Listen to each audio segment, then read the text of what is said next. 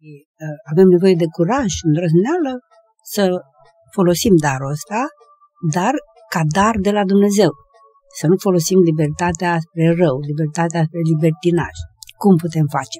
Dându-ne seama cine suntem. Deci eu sunt făptura lui Dumnezeu. Binele este Dumnezeu. Numai Dumnezeu e bun, numai existența lui Dumnezeu e binele absolut. Al doilea bine este existența creată, un bine relativ. Tot ce există este bun și când faci lucruri care uh, te țin în existență și existența este bună, adică după armonia pe care a, a pus-o Dumnezeu în, în existență prin creație, e bine. Nu se compară activitățile, acțiunile sau alegerile, nu se compară între ele ca fiind bune sau rele, decât dacă ne, ne raportăm la Dumnezeu. Și atunci putem îndrăzni orice. Reperele după care ne conducem este ce mă apropie de Dumnezeu. Adică ce mă umple de viață. Dumnezeu este viața mea. El mă ține în viață. El mă... De câte ori aleg viața și valorile vieții, eu fac bine. De câte ori dăunez vieții, fie și a unei frunze, a unei furnici, eu am ales rău. Tot ce nu susține viața și nu o sporește. Aceasta este alegerea proastă. Dacă privim așa, lucrurile se simplifică în sensul că voi încerca să descoper care e voia lui Dumnezeu și cum se cunoaște ea.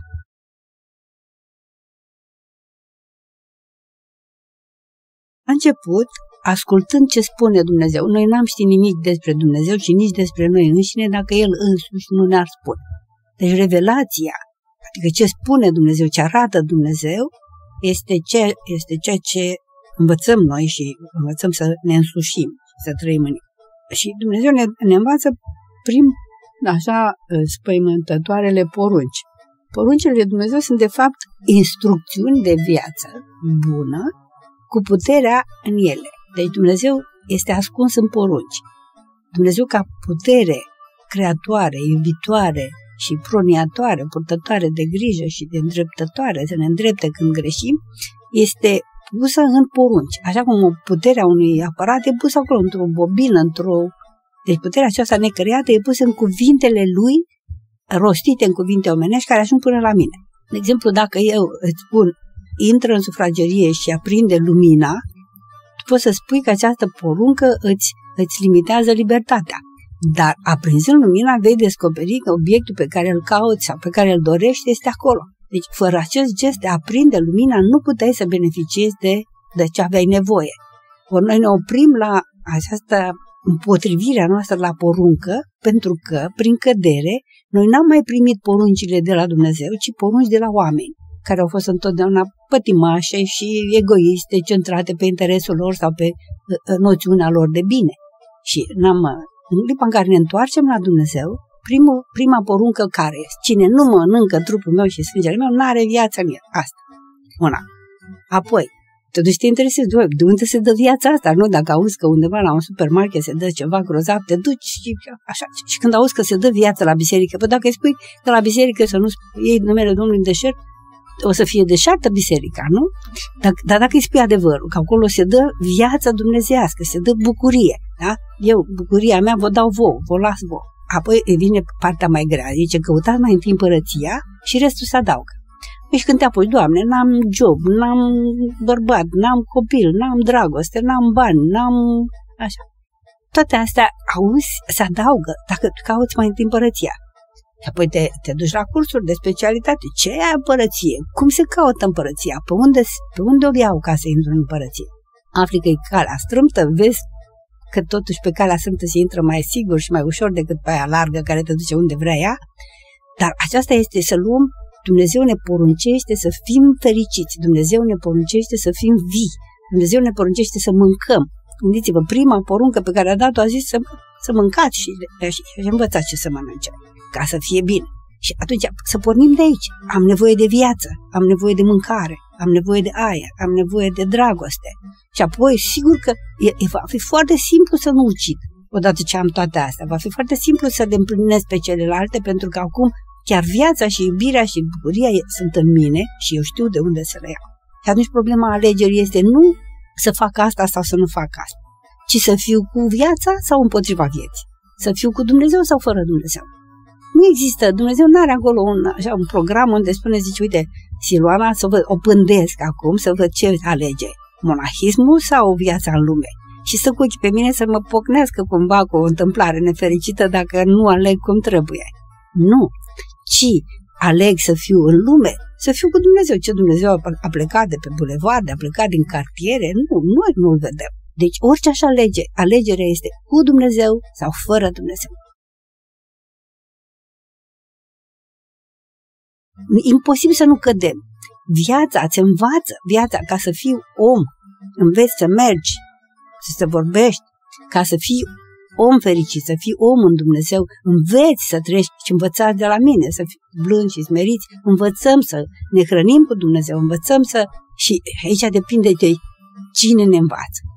Noi avem un copilaș la biserică, de la grupa foarte mică, care vine la biserică și i-a spus mamei sale într-o zi, eu, mai, mamă, eu când o să mă fac mare, o să îmi iau soție. Și mama îl întreabă, și ce să faci cu ea? Păi o duc la biserică și o împărtășesc. Deci, iată, depinde ce învățăm, da? ce moștenire primim de la părinți, de la... Da? Dar să nu deznădăjdim și dacă am primit moșteniri grele și avem moșteniri foarte grele. De a ne alegem. De a nu suntem liberi în alegere. Ne împinge viața să ne căsătorim cu cineva anume care îmi va asigura o viață asemenea cu cea a părinților, să alegem situații nefericite, deci alegerile sunt foarte proaste pentru că nu sunt libere. Sunt dictate de fricile noastre, de tiparele noastre, de, de moștenirile noastre. Uneori putem să alegem lucruri pe care, la care ne împing tiparele bunicilor sau străbunicilor. Și atunci ca să aleg corect, să aleg să fiu în biserică, să mă vindec prin rugăciune, prin Sfintele Taine, să-mi așez în pace străbunii, bunicii și părinții prin iertare și prin uh, parastase și prin dezlegarea de ei și iubirea liberă. Încredințez milosivilul lui Dumnezeu, mă rog pentru iertarea lor, dar nu sunt dat doar să duc blestemul mai departe, dacă a fost un blestem, sau să duc modelul nefericit mai departe, cum fac mulți oameni. Deci, ei cred că își aleg destinul, dar de fapt repetă ce a făcut la noi în familie tot timpul. Neamul nostru mereu bărbații au murit la 40 și nu știu câte ani. Ei văd că este ceva în regulă, dar poate că nu da. știu cum să păi nu știu că, acel Da, rău. pentru că aceste scheme sunt înăuntru nostru și ne dictează comportamentul și atunci îmi pun prost întrebarea dacă aleg bine sau nu, atâta timp cât eu nu mi-am curățat mintea și sufletul de aceste tipare, de aceste moștenii. Și Dumnezeu mă face liber, hrănindu-mă cu El, vărnind cu cuvântul lui, vorbind tot timpul cu el și aducându-l în viața mea, mi se, mă eliberez de aceste repere încarnate și moștenite și pot să aleg liber pe el frumusețea și niciodată nu ai un tipar, cum îl aleg pe Dumnezeu? Uneori poți să alegi zâmbindu-ne, alte ori încruntându-te la el. Îl alegi pe Dumnezeu pentru că o faci în numele iubirii, dar să fie din iubire.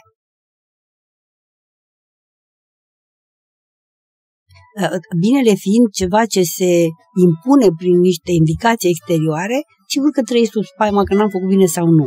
Dar dacă îl aleg pe Dumnezeu, El nu mă judecă, El îmi dă putere. Și eu, și eu învăț din greșeală, învăț din orice, orice s-ar întâmpla, e bine pentru experiență de întâlnire cu Dumnezeu, nu? Așa cum atunci când iubești cu adevărat, nu tot îi spui, uite, nu e bine că ne uităm la porumbei, mai bine știi, mai să ne uităm la ghiocei nu se, nu se pune problema, lucrurile vin la sine pentru că ne iubim. Așa și aici. Ne dăm pe mâna lui Dumnezeu și atunci lucrurile vin de la un sine hrănit cu Dumnezeu.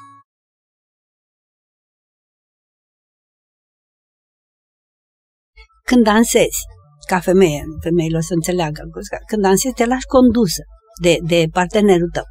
Și niciun caz nu îl împingi, hai să o luăm pe acolo, să o luăm pe acolo, și, ci pur și simplu te lași condus. Dar asta nu înseamnă că tu ai dispărut, că dacă n-ai avea, nu te-ai mișca, ăsta ar târâ un cadavru, n-ar dansa cu cineva, nu? Deci noi ne oferim cu toată creativitatea și cu toată, dar cu totul să ne lăsăm cu Dumnezeu. Și, de fapt, ce să planifici? Gândiți-vă că noi venim cumva într-un program nu pot să mă nasc în comuna în care m-am născut eu așa și să, și să fac un program, uite, eu vreau să mă nasc la Paris. Nu se mai poate, dar am să mă mut la Paris. Și toată viața am să mă chinui cum să fac eu să mă mut la Paris și nu mai văd nici florile, nici caprele, nici cerul, pentru că sunt obsedată de mutarea mea la Paris, care va avea loc la 70 și ceva de ani, în care Parisul va fi ca într-un album de poze, așa am pățit eu când mi s-a părut că vederi. Deci, am nevoie să fiu prezent în programul în care sunt. M-am născut aici. Sunt. Acum ești lucrezi la radio, aici. Dimineața când vin, dar n-ai nevoie să-ți programezi la ce loc de muncă te duci. Dar pe drum ești cu Dumnezeu sau nu? Nu mai alegi cu cine te măriți. Gata, s-a terminat cu alegerea, termin cu asta. Dar alegi cum să-ți iubești totul, cum să te bucuri de el, cum să îl faci să te iubească și să se bucure de tine. Deci alegerile sunt în cadrul unui program, că Dumnezeu vine și nu ne ia, nu ne ia, nu modifică realitățile create, ci le umple de energie necreată. Și un părinte spunea că bucuria este această umplere de Dumnezeu în orice condiție am fi. Și aici diferența dintre un degetar plin și un butoi cu puțină bucurie pe fund e foarte mare în favoarea degetarului. Și atunci, dacă eu sunt într-o relație deficitară cu cineva și mă dau cu totul pe mâna lui Dumnezeu, făcând poruncile, iert, mustru, fac poruncile cum mă învață și harul și cum mă luminează Dumnezeu în, în fiecare moment, cu dragoste, eu mă vindec de partea pe care o aveam de lucrat într-o relație grea și apoi se schimbă. Ori se schimbă celălalt, ori mă, mă mută pe mine Dumnezeu, viața mă mută în alt loc de muncă, deci tot vine de la sine. Dar dacă zici eu plec de aici, că nu mă înțeleg cu ăsta și am să-mi aleg în altă parte, te duci cu tine cu tot și acolo deschizi un nou câmp de luptă exact după vechile reguli. Deci asta înseamnă să te lași în voia lui Dumnezeu, să accepti datul care este ca pe un loc de dar.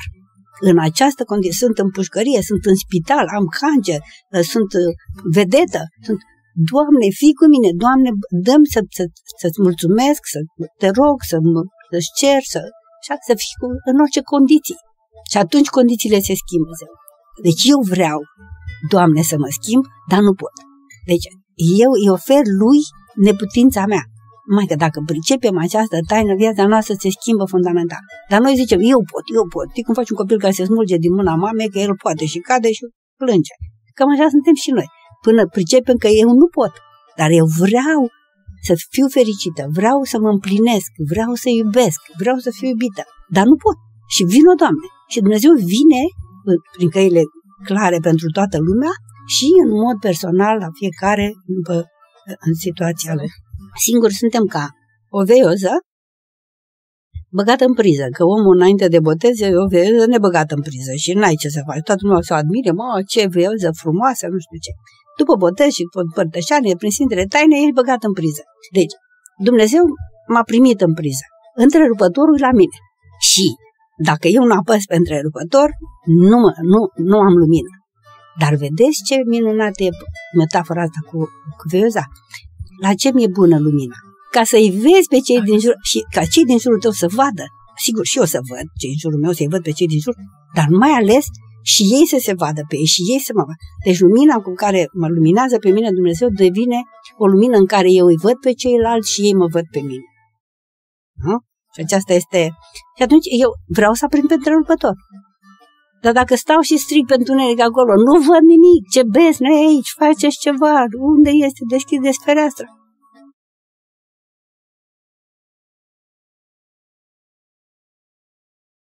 Neapărat să mergem la duhovnic Sigur că dacă duhovnicul ne cunoaște foarte bine, va putea să vadă cu mai mult discernământ în ce direcție să o luăm și de ce un duhovnic e mai odată că e în legătură directă cu harul care vine prin Sfânta Taina Pocăinței și a conducerii sufletului meu la Domnul, dar mai vine și, de exemplu, dacă suntem soț și soție, duhovnicul ne iubește pe amândoi și el mă va sfătui în așa fel încât să fie iubire adevărată, nu în detrimentul celuilalt.